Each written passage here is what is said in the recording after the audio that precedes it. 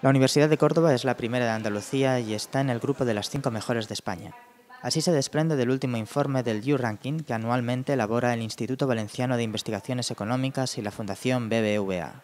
Este informe clasifica a las universidades españolas en función de su rendimiento docente, de investigación y de innovación y desarrollo tecnológico. Yo creo que eso es una gran satisfacción para, todos. La línea de investigación en todo el campo biomédico, el campo agroalimentario, reforzado con química, con los resultados en química que estamos eh, teniendo, pues yo creo que tiene que ser un motivo de satisfacción.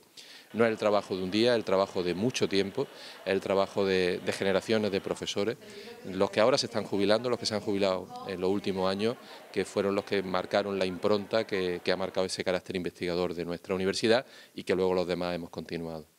La Universidad de Córdoba ocupa la primera posición en Andalucía del cómputo general que ordena las universidades españolas en función de su rendimiento docente, de investigación y de innovación, así como de desarrollo tecnológico.